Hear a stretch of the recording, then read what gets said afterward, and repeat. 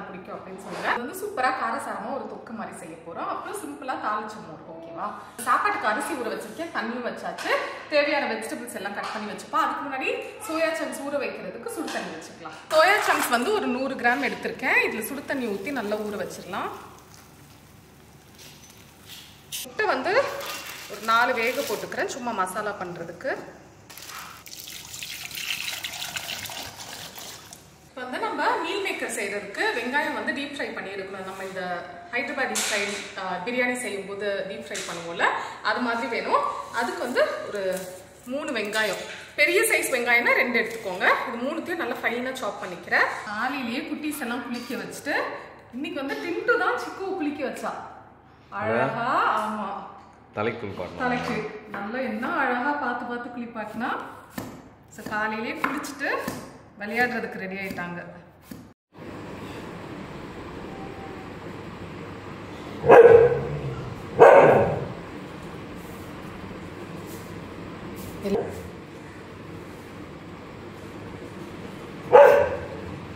சிக்கு.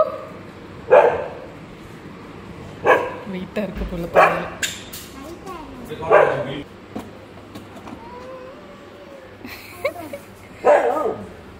முடிஞ்ச அளவு தின்னா இதை ஸ்லைஸ் பண்ணிக்கலாம் இப்போ டீப் ஃப்ரை பண்ணுறதுக்கு தேவையான அளவு எண்ணெய் சேர்த்துப்போம். இண்டஸ் வேலியிலேருந்து நியூ லான்ச் வந்து ஒரு மூணு பாத்திரம் அனுப்பியிருந்தாங்க. ஒன்று வந்து இந்த சாஸ் பாட் லிட்டோட வருது உங்களுக்கு. ஸோ இதோட ஹேண்டில் பார்த்தீங்கன்னா ஹீட் ப்ரூஃப் உங்களுக்கு வந்து பிடிக்கிறதுக்குலாம் ஈஸியாக இருக்கும். அண்ட் இந்த லிட் லிட்டில் வந்து மூணு ஹோல்ஸ் கொடுத்துருக்காங்க. ஸ்டீம் எல்லாம் போகிறதுக்கு இல்லை எக்ஸஸ் மாய்ஸ்சர் வந்து ரிலீஸ் பண்ணுறதுக்கு கூடவே வந்து இந்த ஹேண்டிலுமே வந்து உங்களுக்கு ஹீட் ப்ரூஃப் தான். ஸோ இதில் வந்து என்னெல்லாம் இருக்குன்னு பார்த்தீங்கன்னா ஃபைன் பேன் இருக்குது சாஸ் பாட் இருக்குது கேசரோல் இருக்குது கடாய் இருக்குது ஸோ நம்மக்கிட்ட வந்து சாஸ் பாட் கடாய் வந்து இது லார்ஜ் சைஸ் இதுலயே வந்து ஸ்மால் மீடியம் லார்ஜ் அப்புறம் இன்னும் அதாவது ஃபோர் டிஃப்ரெண்ட் சைஸஸில் இருக்கு. ஸோ இதில் பார்த்தீங்கன்னா ஸ்டெயின்லெஸ் ஸ்டீல் மிரர் ஃபினிஷ் கொடுத்துருக்காங்க. ஸோ நல்ல பெருசு. இது வந்து வெயிட் இருக்காது ஏன்னா ட்ரை ப்ளை கிடையாது ட்ரை ஸ்டீல் வந்து சாண்ட்விச் பாட்டம் கொடுத்துருக்காங்க. ஸோ ஈவனாக ஹீட் டிஸ்ட்ரிபியூட் ஆகும். அண்ட் உள்ளே இருக்கிறது வந்து ஒரு அலுமினியம் லேயர் அதாவது இந்த சாண்ட்விச் பாட்டம்குள்ளே சொல்கிறேன் அதனால ஹீட் வந்து ஈவனாக டிஸ்ட்ரிபியூட் ஆகும். சீக்கிரமாக வந்து குக் ஆகும். பட் ஒருவேளை உங்களுக்கு வந்து ட்ரை ப்ளை பார்க்குறீங்க அதாவது ஹெவியான பாட்டம் பார்க்குறீங்க அப்படின்னா இது வந்து இண்டஸ் வேலியிலேருந்து ட்ரை ப்ளை கடாய் தான். இதுலேயும் வந்து டிஃப்ரெண்ட் சைஸஸ் இருக்குது ஸோ இது வந்து ஹெவியாக இருக்கும். உங்களுக்கு வந்து அவ்வளோ சீக்கிரத்தில் அடி பிடிக்காது அது மாதிரி எல்லாம் ஒன்று ஆனால் வெயிட்டாக இருக்கும் உங்களுக்கு. இது வந்து ரொம்பவே லைட் வெயிட்டாக இருக்கும். நான் ட்ரை ஸ்டீல் இது. இதுலேயே வந்து கேசரோல் வருது ஸோ எல்லாத்தையுமே லிட்டில் வந்து உங்களுக்கு அந்த ஹோல்ஸ் கொடுத்துருக்காங்க. அமைக்கும் போது ஈஸியாகவும் ஹேண்டில் பண்ணலாம். ஏன்னா இது வந்து அந்த அவ்வளோ சீக்கிரம் ஹீட் ஆகாது.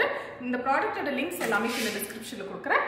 இதோட லிங்க்கும் கொடுக்குறேன். உங்களுக்கு இண்டஸ் வேலியில் எந்த ஒரு ப்ராடக்ட் வாங்கணும்னாலுமே நம்மளோட சப்ஸ்கிரைபர்ஸ்க்கு சுனிதாங்கிற கூப்பன் கோட் இருக்குது அதை யூஸ் பண்ணிங்கன்னா அவங்க வெப்சைட்டில் யூஸ்வலாகவே ஃபார்ட்டி பர்சன்டேஜ் ஆஃபர் ஆஃபர் வந்து எல்லா ப்ராடக்ட்ஸுமே போயிட்டுருக்கோம். சுனிதாங்கிற கூப்பன் கோட் யூஸ் பண்ணிங்கன்னா அடிஷ்னலாக டுவெல் பர்சன்டேஜ் ஆஃபர் கிடைக்கும். ஸோ எல்லா டீட்டெயில்ஸும் கீழே டிஸ்கிரிப்ஷனில் இருக்குது ஸோ இந்த வீடியோவில் சமைக்கும் போது என்னென்ன ப்ராடக்ட்ஸ் யூஸ் பண்ணுறோம் உங்களுக்கு ஏதாவது பிடிச்சிருக்கா ஏதாவது தேவை இருக்குது அப்படின்னா கண்டிப்பாக செக் பண்ணி பாருங்கள் டைம் என்னாச்சு?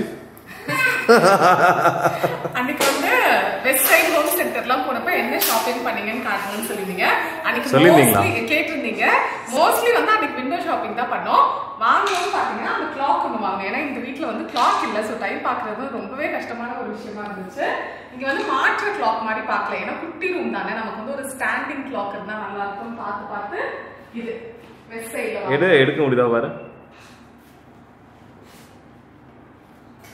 இது அழகா நம்ம தீம்க்கு அப்படியே மேட்ச் ஆயிடுச்சு. ஆக்சுவலி என்ன ஹோம் சென்டர்ல ஒரே ஒரு மாடல் இருந்தது. அது ஓகேவா தான் பிடிச்சது. வெஸ்ட் சைட்ல வந்து ஒரு அஞ்சு மாடல் கிட்ட இருந்துச்சு ஸ்டாண்ட் கிளாக்ல ஸோ இது வந்து எங்களுக்கு ரொம்பவே பிடிச்சிருந்துச்சு. ரொம்ப சிம்பிளா எலகெண்டா இருந்த மாதிரி இருந்தது. நல்லா இருக்கான்னு சொல்லுங்க. இது போக அந்த பீலர் காமிச்சிருப்பேன்ல ஹோம் சென்டர்ல அது வாங்கினேன். அப்புறம் ஃப்ளவரிங் அந்த இது ஃப்ளவர் பாட்ஸ் தான் நிறைய வாங்கினேன் செராமிக்ல முப்பது ரூபா இருபத்தொன்பது ரூபா. Twenty nine rupees twenty nine அது வந்து ஜாக் பாட் உங்களுக்கு இதுதான் இதுதான் கரெக்ட், கரெக்ட். ஐயோ. இன்னும் ஒரு ஆர்வம்.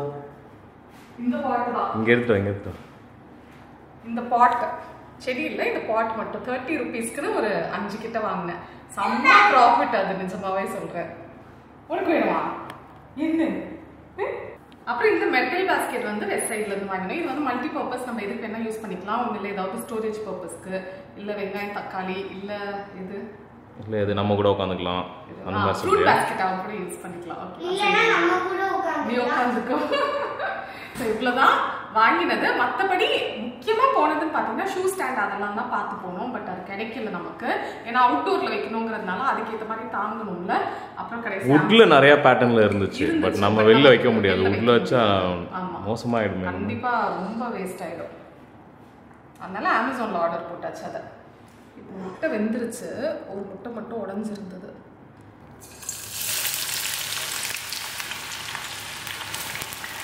வெங்காயத்தை நல்ல கோல்டன் ப்ரௌனாக ஃப்ரை பண்ணி எடுத்துப்போம். அண்ட் முட்டை வந்து தோல் கரெக்டாக உரிக்கிறதுக்கு வந்து டிப்ஸ் கேட்டிருந்தீங்க. ஆக்சுவலி நாங்களும் நிறைய ஃபாலோ பண்ணிட்டோம். எங்களுக்குமே நிறைய முறை சொதப்பு இருக்கு பட் இது வரைக்குமே ஒரு இந்த ஒரு மெத்தட் வந்து கண்டிப்பாகவே நல்லா ஒர்க் அவுட் ஆயிருக்கு. ஸோ இப்போ சு எடுத்தேன்னா எடுத்ததுமே அந்த சுடு தண்ணியை டிஸ்கார்ட் பண்ணிட்டு ஒரு ரெண்டு மூணு முறை ரன்னிங் வாட்டர்ல பிடிச்சி பிடிச்சி ஊத்திட்டு கடைசியா கொஞ்சம் தண்ணி பிடிச்சி அப்படியே வச்சிருங்க. ஒரு ஃபோர் ஃபைவ் மினிட்ஸ்க்கு இல்லைன்னா நீங்க ஐஸ் கியூப் வாட்டர்லையும் போட்டுடலாம். ஓகேவா ஆனா போட்டுட்டு அப்படியே விட்டுறக்கூடாது. ஒரு ஃபைவ் மினிட்ஸ் அப்புறம் கொஞ்சம் வார்மா ஆயிருக்கும். அது ரொம்ப சூடுல இருந்து வார்ம் ஆயிருக்கும்ல. அப்போ வந்து தண்ணியில கொஞ்சம் கோல்ட் வாட்டர்ல போட்டுட்டு நீங்க பீல் பண்ணீங்கன்னா ஈஸியா வந்துடும் இதை ட்ரை பண்ணி பாருங்க. ஓகேவா இப்போ இது அப்படிதான் பார்க்குறேன் ஸோ இப்போ பார்த்தீங்கன்னா ரெண்டு மூணு முறை தண்ணியில் கழுவிட்டு கொஞ்சம் தண்ணி பிடிச்சி போட்டிருக்கேன். ஒரு த்ரீ ஃபோர் மினிட்ஸ் தான். அதுக்கப்புறமா லைட்டாக இப்படி ரன்னிங் வாட்டரில் ரின்ஸ் பண்ணிக்கோங்க. அது சும்மா நமக்கு வந்து உரிக்கிறதுக்கு ஈஸியாக இருக்கும். அதுக்காக தான்.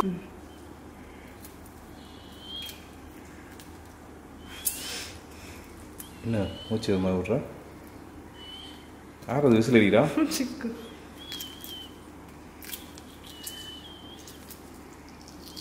ஐயோ வரலையேடா. இல்ல ஓடு நல்லா உடஞ்சி வருது. ஓடு வருது. அது முட்டை கிராக் விட்டுருந்தது கொஞ்சம். ஆனால் இது சூப்பராக வருது. இந்த மெத்தட் வந்து நிஜமாவே ஒர்க் அவுட் ஆகுது. இதுதான் நமக்கு ட்ரஸ்டட் மெத்தட் ஆமாம் டேய் மூக்கொலியை விசில் அடிக்காரா டேய் டேய் பையா. இது இது வந்து இந்த கலர்ல இருக்கும்போதே எடுத்துடணும். இன்னும் டார்க் ஆச்சுன்னா தீஞ்சிரும். தாளிச்ச மோருக்கு ஒரு வெங்காயம் கட் பண்ணிட்டு இந்த மாதிரி பெருசு பெருசா இருக்கணும். அதை பிச்சு வச்சுக்கலாம். இப்போ இந்த ஃப்ரை பண்ண வெங்காயத்தை ஒரு மிக்ஸி ஜாரில் போட்டுக்கலாம். ஆக்சுவலி என்னோட முட்டை வந்து நான் மேலே தண்ணி ஃபுல்லாக கவராக நம்ம பாயில் பண்ணும்போது நிறைய தண்ணி ஊற்றி வேக வைக்கணும். நான் மேலே வந்து தண்ணி கவர் பண்ணவே இல்லை. அதனால் இங்கெல்லாம் குக் ஆகலை. ஆனால் மற்றபடி இந்த டிப் கண்டிப்பாக ஒர்க் அவுட் ஆகும். நீங்கள் ட்ரை பண்ணி பாருங்கள் அதனால எனக்கு இன்னும் கொஞ்சம் சொதப்பிருச்சு. அதை சொதப்புற அன்னைக்கு கரெக்டாக வந்து நீ சொன்ன பார்த்தியா டிப்ஸ் சொல்கிறேன் அப்படின்ட்டு. அது இந்த வீடியோல அந்த ஆர்டர் வீடியோல யாரோ ஸ்பெசிஃபிக்கா கேட்டிருந்தாங்க கமெண்ட்ல. அது ஞாபகம் வச்சிருந்தேன். அதனால சரி சொல்லிடலாம் அப்படின்னு நினைச்சேன். சொல்லிடுச்சு. இதை வந்து தண்ணி சேர்த்து நல்லா பேஸ்டா அரைச்சிக்கலாம் பண்ண முடியாது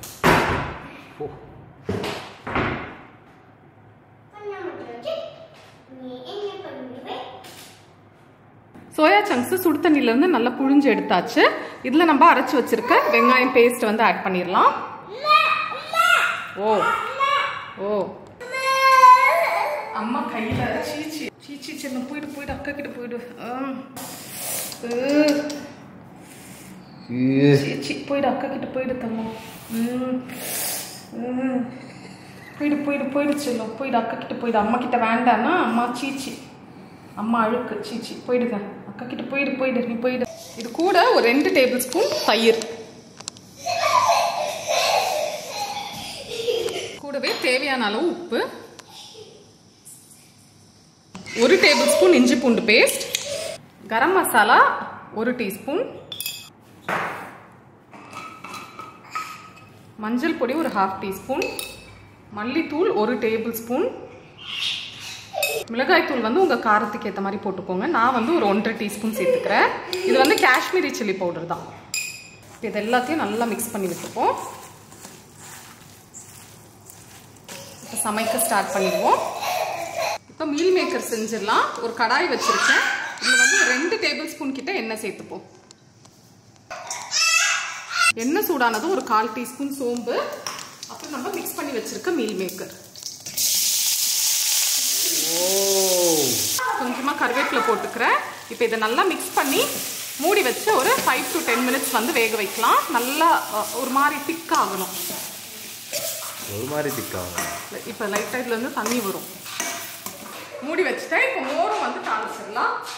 மோர் தாளிக்கிறதுக்கு ஒரு டீஸ்பூன் போல் எண்ணெய் சேர்த்துக்கிட்டேன். எண்ணெய் சூடானதும் ஒரு அரை டீஸ்பூன் போல் கடுகு ஒரு கால் டீஸ்பூன் ஜீரகம் நாலு பச்சை மிளகாய் கொஞ்சமாக பெருங்காயத்தூள். நம்ம கட் பண்ணி வச்சுருக்க வெங்காயம். இதெல்லாம் போட்டு நல்லா வதக்கிக்கலாம். இந்த வெங்காயம் ரொம்ப வேகக்கூடாது. ஹை ஃப்ளேமில் வச்சு ஜஸ்ட் ஒரு ஒரு நிமிஷம் வதக்கி விட்டால் போதும். அந்த மோர் சாப்பிடும்போது அந்த வெங்காயம் வந்து கடிப்படும். அப்போ சூப்பராக இருக்கும். அந்த நம்ம பழைய சாதத்துக்குலாம் வெங்காயம்லாம் வச்சு வெங்காயம் தயிர் வச்சு சாப்பிடும்போது அந்த ஃபீல் கிடைக்கும். தேவையான அளவு உப்பு சேர்த்துப்போம். கூடவே கொஞ்சம் கருவேப்பிலை ஒரு ஹாஃப் டீஸ்பூன் போல் மஞ்சள் தூள். இப்போ இதை நல்லா மிக்ஸ் பண்ணிவிட்டு அடுப்பு ஆஃப் பண்ணிடலாம். இப்போ அடுப்பு ஆஃப் பண்ணிவிட்டு நீங்கள் வந்து ஒரு அரை லிட்டர் தயிர் வந்து தண்ணியில் எந்த கன்சிஸ்டன்சி வேணுமோ நம்ம வந்து மிக்ஸ் பண்ணி வச்சுக்கலாம். அதாவது ரொம்ப தண்ணியாக இருக்கக்கூடாது திக்காகவும் இருக்கக்கூடாது. இப்போ இதை சேர்த்துடலாம். மோர் குழம்பா? ம் கூடவே கொஞ்சம் கொத்தமல்லி வந்து கட் பண்ணி சேர்த்துப்போம். அவ்வளோதான் செம்ம சூப்பராக இருக்கும். அதுவும் இந்த சம்மர் சீசனுக்கு நம்ம செம்ம சம்மர் பா. நிஜமாவே சொல்கிறேன் இப்போ நான் ஆக்சுவலி ஒரு லெவன் ஃபார்ட்டிக்கு ஆரம்பிச்சிருப்பேனோ. ஆமாம் லெவன் ஃபார்ட்டி ஆரம்பிச்சிருப்பேன். டைம் வந்து டுவெல் டுவெண்ட்டி ஃபைவ் கிட்ட ஆகுது. எனக்கு வந்து ஒன் ஹவர் கிட்ட ஆச்சு. ஆனா இப்போ நீங்க வந்து வீடியோ எடுக்காம எந்த ஒரு டைவர்ஷனும் இல்லாம சமைக்கிறோம் அப்படின்னா மேக்ஸிமம் டுவெண்ட்டி மினிட்ஸ்ல இந்த லஞ்சை வந்து நம்ம முடிச்சிடலாம். ஓகேவா அதனால கண்டிப்பா நீங்க ட்ரை பண்ணி பார்த்து எப்படி இருந்துச்சு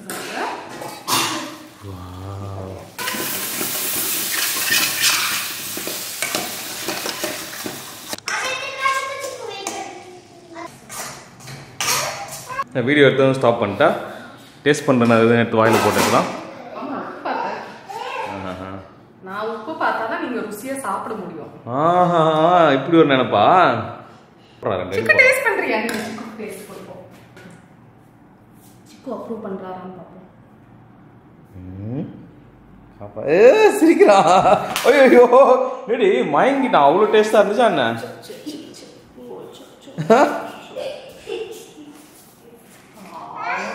கேட்குறான் கேட்குறான் போன வீடியோல நானு ஆ, அப்படி கேக்குறான், சிக்கு கேக்குறான், approve ஆயிடுச்சு, இல்லாம தராம ஆயிட்டேன்.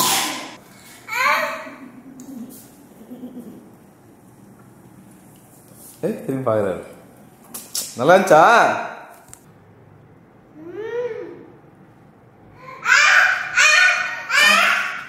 அது இது ஃபைவ் தௌசண்ட் ருபீஸ் அது 5,000. இது ஆக்ஷன் மோடம் 10 minutes கிட்ட ஆயிடுச்சு. நல்லா எனக்கு தேவையான கன்சிஸ்டன்சிக்கு வந்துருச்சு. நல்லா மிக்ஸ் பண்ணி விட்டுலாம் இதுல வந்து இப்போ கடைசியா ஒரு ஹாஃப் டீஸ்பூன் போல ஜீரக பொடி ஒரு டீஸ்பூன் போல பெப்பர் பொடி. இது கொஞ்சம் காரசாரமா இருந்தாலும் நல்லா தான் இருக்கும். ஏன்னா மோர் வந்து அந்த அளவுக்கு காரம் இருக்காது. கடைசியா கொத்தமல்லி. இல்ல இது மட்டும் தான் இருக்கு மிக்ஸ் பண்ணிட்டு ஆஃப் பண்ணிடுவோம் ஸோ இது ரெண்டுமே மஸ்ட் ட்ரை ரெசிபி சூப்பரான காம்போ கண்டிப்பாக ட்ரை பண்ணி பாருங்க. இப்போ லைட்டாக அந்த முட்டையை மட்டும் மசா மசாலா போடணுமா என்ன வேணும் எப்படி இருந்தாலும் ஓகே தான். நார்மலாகவே இருக்கட்டும். இதுதான் இருக்கே மசாலாக்கு ம் சரி வேண்டாம் வேண்டாம். வேண்டாமா? வந்தோம் எல்லாரும் வருவீங்க இல்லைன்னா வரவே மாட்டீங்க ஒருத்தனும். ஆ? அப்படிதான் ஸ்நாக்ஸில் நீங்க இதை வந்து நீங்க வந்து எக்ஸ்பீரியன்ஸ் பண்ணிருக்கீங்களான்னு சொல்லுங்க. நம்ம வீட்ல வந்து இல்ல ஒண்ணுமே இருக்காது. அதாவது ஸ்நாக்ஸ் ஒண்ணுமே இருக்காது சாப்பிட்றதுக்கு. எதுவுமே இல்லை நம்ம வாங்கிட்டு வந்தோம்னு வச்சுக்கோங்களேன். அன்னைக்குன்னு பார்த்து கெஸ்ட் வருவாங்க. இல்ல எப்படியாவது வந்து வீட்ல அவ்வளோ மூஞ்சிருவானுங்க அப்படியே ஒரு நம்ம என்ன பண்றதுனே தெரியாது அப்படியே. அது எப்- எப்போ அடிக்கடி நடக்கும் அது மாதிரி சரியா இப்போ லஞ்ச் ரெடி ஆயிடுச்சு. சாப்பிட்டெல்லாம் முடிச்சுட்டு பிளாக் கண்டினியூ பண்ணுறோம் ஸோ பழைய வீடு மிஸ் பண்ண நிறைய பேருக்கு வந்து இந்த செக்மெண்ட் கண்டிப்பாக ரொம்ப பிடிக்கும்னு நினைக்கிறேன். ஸோ இப்போ வந்து நம்ம இங்கே தான் இருக்கோம். நிறைய நாள் ஆச்சுன்னு நினைக்கிறேன். மோர் தென் அ மந்த் ஆச்சு. உங்களுக்குலாம் நமக்கு இந்த வீடு காட்டி அண்ட் நிறைய நிறைய கொஷின்ஸ் வந்துட்டே இருந்துச்சு. ஏன்க்கா நீங்கள் பழைய வீட்டுக்கு போக மாட்டேங்கிறீங்க? காட்டுங்க மிஸ் பண்ணுறேன் அப்படின்னு சொன்னீங்க. அப்புறம் ஒரு சில பேர்லாம் வந்து அந்த இன்னொரு எக்ஸ்ட்ரீம் போயிட்டு உங்களுக்கு அங்கே ஏதோ பிரச்சனை நீங்கள் அதனால தான் காலி பண்ணிட்டு வந்துட்டீங்க. நீங்கள் அதனால தான் அந்த பழைய வீட்டை காட்டல. அப்படிங்கிற மாதிரி அதாவது நாங்கள் இந்த வீ- இந்த வீடே எங்ககிட்ட இல்லைங்கிற மாதிரிலாம் சில பேர் அசியூம் பண்ணியிருந்தாங்க. இந்த வீடு இங்கே தான் இருக்குது அண்ட் டெய்லி ராம் வந்து ஒரு முறையாவது இங்கே வந்துருவாங்க. ஏன்னா நம்ம மாடிக்கு வந்து செடியெல்லாம் இருக்குல்ல இன்னும். ஸோ அதுக்கு தண்ணி ஊற்றணும் நான் வந்து ஒரு டூ டேஸ் ஒன்ஸாவது வந்துடுவேன் எப்படியாவது எதுக்காவது வர வேண்டியது இருக்கும். கொஞ்சம் திங்ஸ் எல்லாம் எடுக்கிறதுக்கு அப்படி இப்படின்னு வர வேண்டியது இருக்கும். பட் வீடியோ மட்டும் தான் எடுக்கலை. மற்றபடி இந்த வீடு இருக்குது பட் என்னன்னா ஃபுல்லாக க்ளீன் பண்ணும் நம்ம இல்லாததுனால ஃபுல்லாக தூசி அப்படியெல்லாம் அதாவது இந்த கவுண்டர் டாப்பில் எறும்பு கூடு கட்டுறது இந்த மாதிரி வேலையெல்லாம் பண்ணியிருக்கு. ஸோ ஃபுல்லாக க்ளீன் பண்ணோம். ஆக்சுவலி என்னென்னா அந்த சமைக்கிற வரைக்கும் விலாக் எடுத்திருந்தேன். அதுக்கப்புறமா வந்து எடுக்கல. என்ன ஆச்சுன்னு பார்த்தீங்கன்னா நாங்கள் சமைச்சு முடிச்சுட்டு சாப்பிட்டுட்டு இருக்கோம். அப்பா கிட்டேருந்து கால் வந்தது. ரொம்ப உடம்பு முடியல. கார் எடுத்துகிட்டு வாங்க அப்படின்னு சொல்லிட்டு செம்ம டென்ஷன் ஆயிடுச்சு.